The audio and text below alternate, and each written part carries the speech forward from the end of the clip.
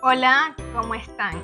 En sesiones pasadas estuvimos conversando sobre el autoestima. Recuerdan que hacíamos referencia a la importancia de llevar esa maleta llena de recursos emocionales para afrontar situaciones en el área escolar o en cualquier otro contexto.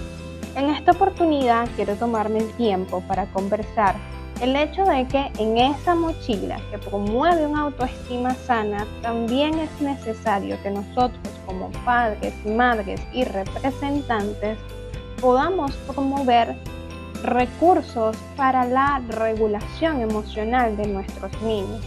Nuestros niños es importante que conozcan sobre sus emociones. Comenzamos desde el hecho de poderles ayudar a identificar qué es aquello que sienten ponerle nombre a esa emoción que experimentan y de alguna forma conocer el por qué sienten estas emociones.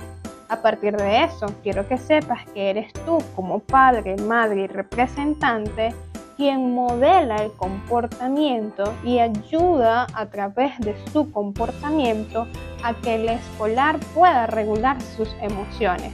Es decir, que si yo como representante tengo dificultades para regular mis propias emociones, a mi chamo posiblemente se le va a dificultar el hecho de poder reconocer cuáles son sus emociones.